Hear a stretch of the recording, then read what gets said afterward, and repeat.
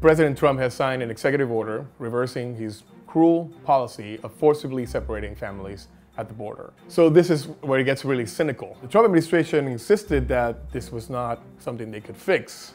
The Democrats have to change their law. That's their law. Now, wait, wait, you can't do it through an executive order. He repeated that lie many, many times. This is part of a broader offensive against immigrants in this country. Revoking DACA, using the word infestation to speak of immigrants, and now this.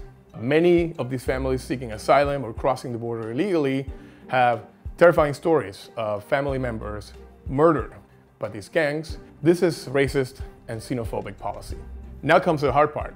Not only stopping the policy, but reuniting the families that were separated. We know of stories of women who have been deported back to their countries without knowing where their children are.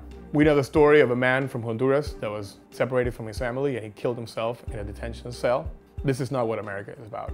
And uh, as a naturalized citizen, it's not what I signed up for.